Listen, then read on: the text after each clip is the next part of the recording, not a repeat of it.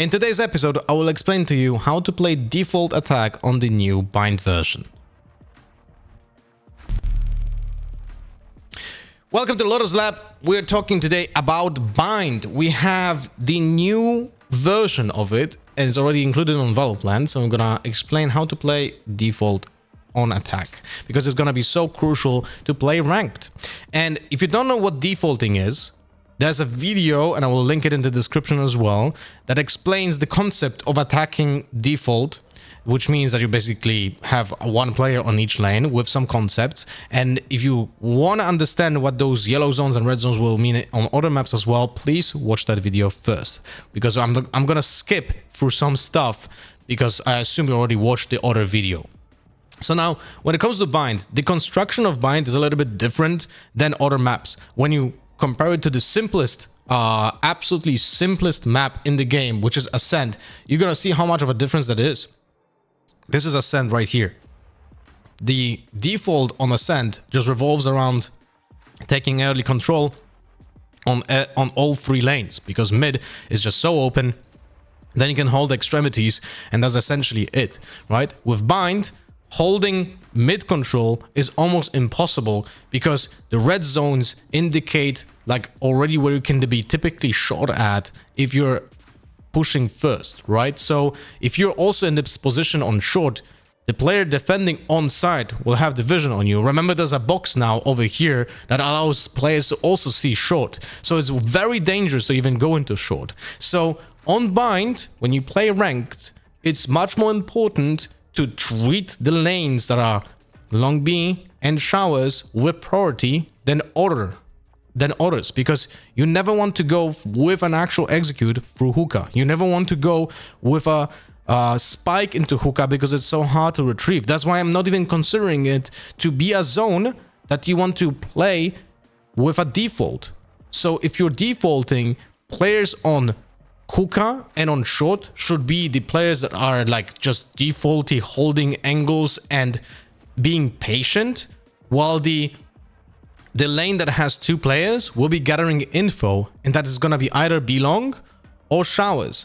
And you want to gather this control because that's something that you will be able to get with two players uh, specifically also when you have an initiator right? So when you play this map i would advise to make a 2-1-1-1 split for defaulting or 1-1-1-2 split, right? So how to how to understand this? That means that one player holds oh, that's an arrow.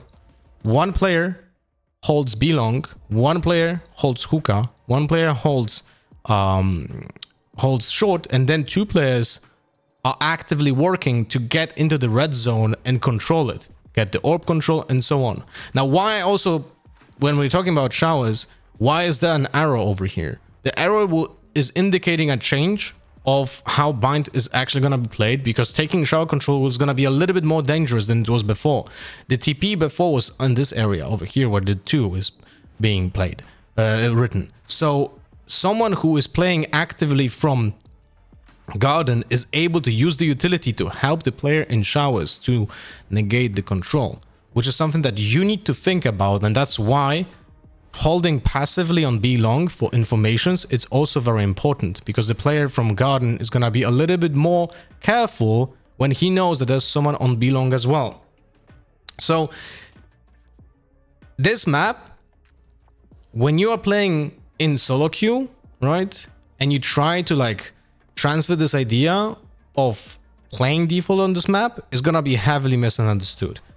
Like there's absolutely no way that people will know how to play this map properly. This is why also Bind was not understood well and let's say received well in the Valorant community because it requires a little bit of knowledge how to play it efficiently. And I have no solution for that, by the way, because I just hope that people will watch those videos and maybe learn it sometime. But if you're trying to IGL in ranked, try to put effort into explaining that the majority of your forces should go to the extremities on the map.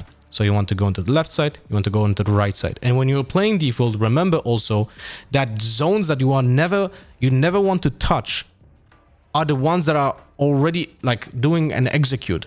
If you're in a hookah, that's essentially already an execute because you're so coming, coming so close to the defenders, right?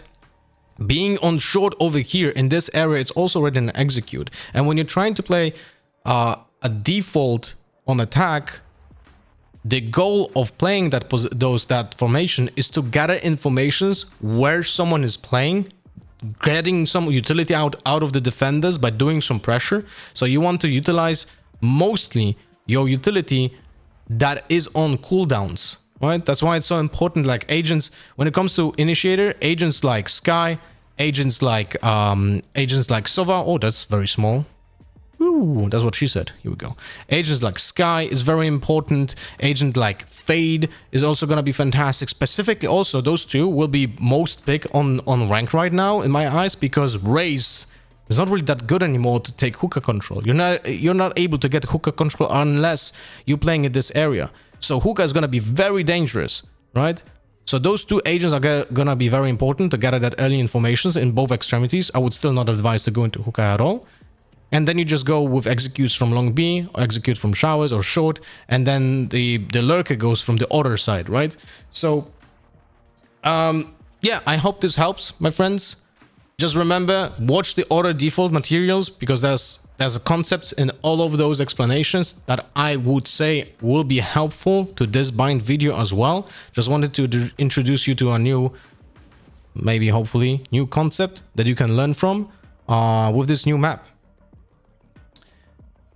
Remember, never go into hookah with a spike. And also on this topic, by the way, when you're playing a defender, right? Just wanted to mention this. When you are a defender from A, I'll give you an uh, I will give you an example. Let's say the opponents are doing an execute from um, from uh, from B, right? So that like for example, three players going through long and one player going for doesn't matter which roles, right? But two players going from hookah. And if when they do an execute like this, but they are not committed to the site yet, and then a defender TPs from A to B, that gives an information to the players to rotate through the TP. And that is one of the worst moves that you can do on defense on bind here because it's a clear information that you just hard rotated offside. And typically, you have three players on A side and that one player leaving that side opens up the space for the lurker on showers, on the lurker on short, and it's gonna be very tough to defend this side with this hard rotation happening on here, because you can also be stuck, right? For example, let's say this is gonna be an actual game. Three players from long do pressure, use some um, stuff on, on site. The Omen TPs to B, and now those three players use the TP. They go onto, onto showers already. It's very close, by the way. Remember, the change of the position of the TP is literally like two seconds. Two seconds shorter and you're gonna be faster on A side. Like it's crazy buff for attackers when it comes to the rotation from B to A. And now this player will probably just go into short while this one is just gonna stay here for this Omen. So you're essentially screwed from this position and you opened uh, the entire A side for an execute. And remember, when it comes to valuing players on defense and attack, if one player holds another player in this position till the skillger is alive, the Omen counts as dead. Because the concept is when you are just holding one player one for one, he's essentially dead and cannot really help the team, right? So, and when attackers have killed one player, that gives them an advantage because the map stays the same size, but there's there are less defenders to actually defend the site. So I hope, hope I helped a little bit. Sorry for the very quick video with no script at all. Um, but yeah, tomorrow's bind, so I wanted to introduce this concept to a little bit of people that are watching the Lothar's Lab. Thank you very much for watching and see you guys with the next episode. Bye-bye.